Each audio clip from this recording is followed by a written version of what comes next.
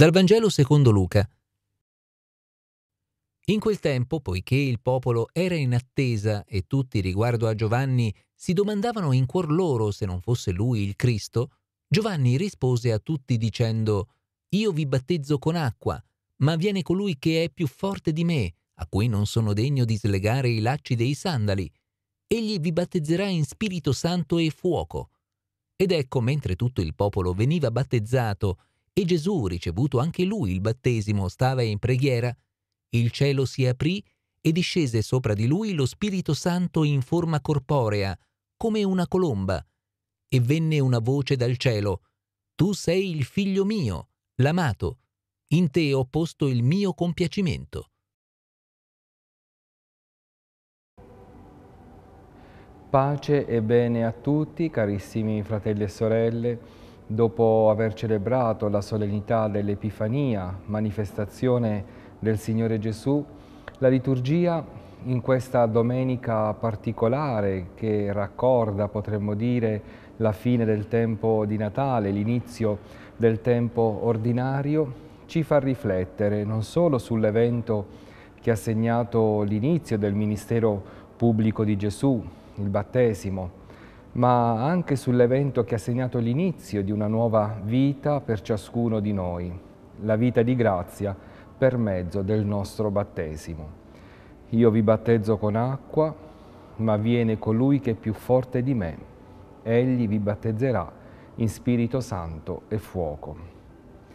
E quanto ascolteremo nel brano del Vangelo, il Padre manifesta questo compiacimento proprio con l'invio dello Spirito Santo che è amore personificato, non è un'energia, una semplice forza, ma lo stesso amore personificato del Padre.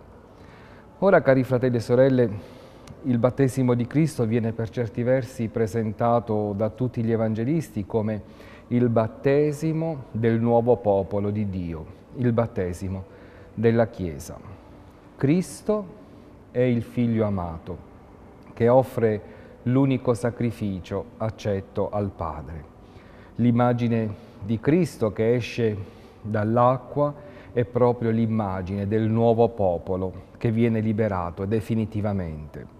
Lo Spirito Santo inviato dal Padre rimane su Gesù affinché ognuno potesse riconoscerlo come il Messia, inviato a portare il lieto annunzio ai poveri, e, come dice ancora Isaia nella prima lettura che ascolteremo, a riconoscerlo come colui che è venuto a pascolare il gregge e a radunarlo con il suo braccio, a riconoscerlo come colui che porta gli agnellini sul petto e come colui che conduce dolcemente le pecore madri. Dobbiamo riconoscere oggi la grazia che il Signore ha fatto anche a noi mediante il battesimo ricevuto. Siamo membra vive del corpo di Cristo, siamo partecipi del suo stesso mistero pasquale, siamo abilitati ad una vita nuova nello Spirito che ci pone nella famiglia trinitaria. Siamo passati, come dice un commento al sacramento del battesimo, dalla solidarietà nel peccato alla solidarietà nell'amore.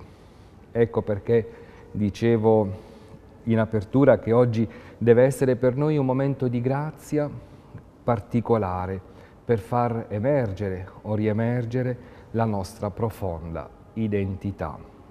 Diventa ciò che sei, ripeteva spesso il compianto arcivescovo di Bari, Monsignor Mariano Magrassi. Viviamo da figli rinati dall'acqua e dallo Spirito Santo. Il battesimo, carissimi amici, è il germe della piena realizzazione, è la possibilità che abbiamo di realizzarci pienamente, non solo come uomini, ma anche come cristiani, come seguaci di Cristo. Non è l'esperienza del vero amore che noi cerchiamo, non è la felicità che cerchiamo, non è la vita eterna. Bene, il battesimo schiude dinanzi a noi questa prospettiva, questo futuro. a tutti allora l'augurio di poterlo realizzare e raggiungere pienamente.